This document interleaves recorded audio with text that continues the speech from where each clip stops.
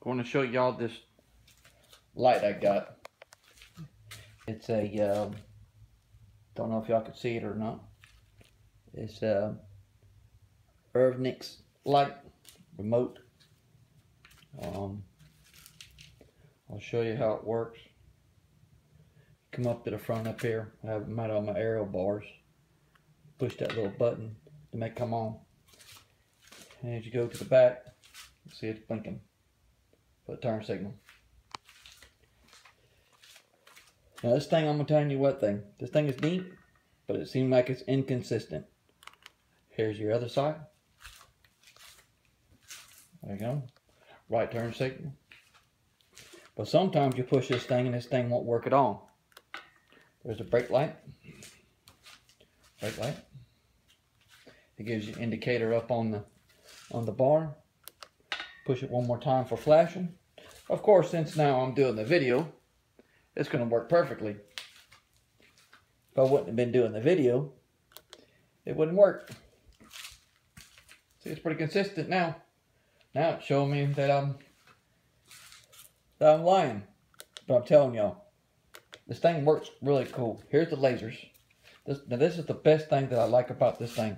As you can see, the lasers, they'll reach the bowl side of the bike, almost past the bike, even almost all the way up to the front of the handlebars. I love this part of the thing. This is the only reason I do not want to send it back is because this laser. I've never had a problem with the lasers. They work really awesome at night. You can click it one more time and it'll start flashing. And as you can see now, they start flashing. And every one of these lights will all work together. They can, just like everybody else is showing you, they will work together. But I just wanted to show y'all that I was hoping that this video was going to do it. It was going, there's the brake flicker again. Of course it's going to work again. I'm trying to get it where it won't be, it'll work. See, of course it's going to work today. But like I said, any other time, it wouldn't have worked. Let's see. Look at that. Unbelievable. See, now it's going to make me look like I'm a lion. There's the lasers. Them lasers are awesome. I don't know if I can show you at night. Let me see if I can turn the garage light off real quick. And we'll see if the video will work or not. I'm not sure. Oh, yeah, look at this thing. This thing is cool. Hope y'all could see it, but you can see how bright these things are. These things are super bright. Um, you can even run the tail light with the laser. There you go. You can run the tail light with the laser. That's how I like to run it right there. So you can see the tail light with the laser. This thing is really cool, man. But like I said, it's inconsistent. As you can see, it's working fine now. You can see it's working fine. But um, there's the flashing ones, how they flash. Also give you indicator. But I'm telling y'all, man, that um, this thing is inconsistent.